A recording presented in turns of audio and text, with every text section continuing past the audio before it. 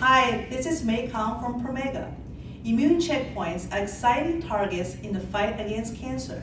Clinical trials with biologics designed to block CTLA-4 or PD-1 PD-L1 interactions, for example, between cancer cells and patient immune cells, have delivered encouraging results.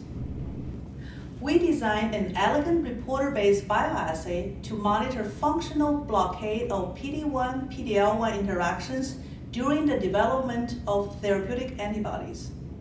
The assay works like this. We start with an effector cell engineered to express the PD-1 receptor on the cell surface and a luciferase reporter under the control of an NFAT response element. We call this cell the PD-1 effector cell line. We engineer a second cell type expressing PD-L1 ligand and a TCR activator. We call the second cell the PD-L1 artificial antigen presenting cell line. In the absence of PD-1 or PD-L1 expression, combining these two cell types activates TCR by TCR activator, resulting in increase of luminescent signals.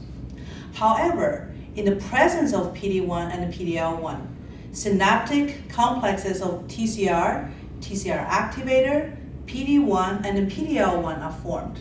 This action blocks the TCR CD3 mediated pathway and prevents luminescent signal from effector cells. Addition of a blocking antibody that binds either PD-1 or PD-L1 release the brake induced by the PD-1-PD-L1 interaction. This mechanism of action-based assay provides an easy way to measure the efficacy of any blocking antibody against either PD-1 or its ligand PD-L1. If you want to learn more about immune checkpoint bioassays, check out our website at promega.com slash immune checkpoint.